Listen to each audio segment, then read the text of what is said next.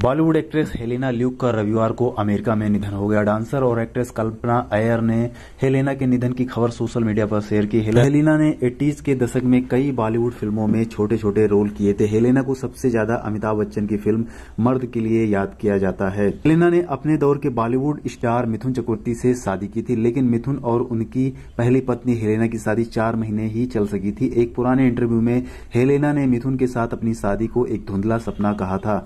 Stardom magazine से बात करते हुए हेलेना ने कहा था, मैं बस ये विश करती हूँ कि काश ऐसा ना हुआ होता। उन्होंने मुझे ये यकीन दिलाने में ब्रेन वॉश किया था कि मेरे लिए बने पुरुष वही हैं। बदकिस्मती से वो कामयाब हुए थे।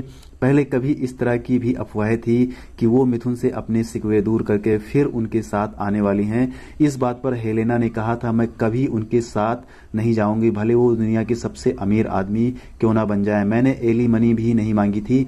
ये बस एक बुरा सपना था जो अब खत्म हो चुका है। रिपोर्ट्स बताती हैं कि मिथुन ने हेलेना के पिता से वादा किया था कि वो उनकी बेटी को दुनिया का नवा अजूबा मानकर ट्रीट करेंगे, लेकिन वो हेलेना को अकेला छोड़ देते थे।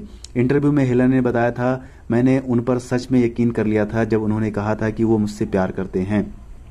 लेकिन जब मैंने उन्हें बेहतर समझना शुरू किया तो एहसास हुआ कि वो अपने अलावा किसी से प्यार नहीं करते।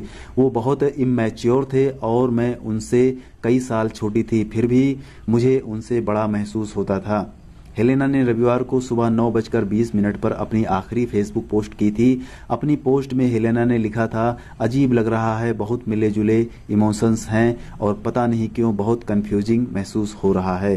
ये था हेलेना का तो अब हेलेना ल्यूक इस दुनिया में नहीं रही हैं। उनको भावपूर्ण श्रद्धांजलि। वीडियो को लाइक कीजिए और चैनल को सब्सक्राइब कीजिए। Thank you.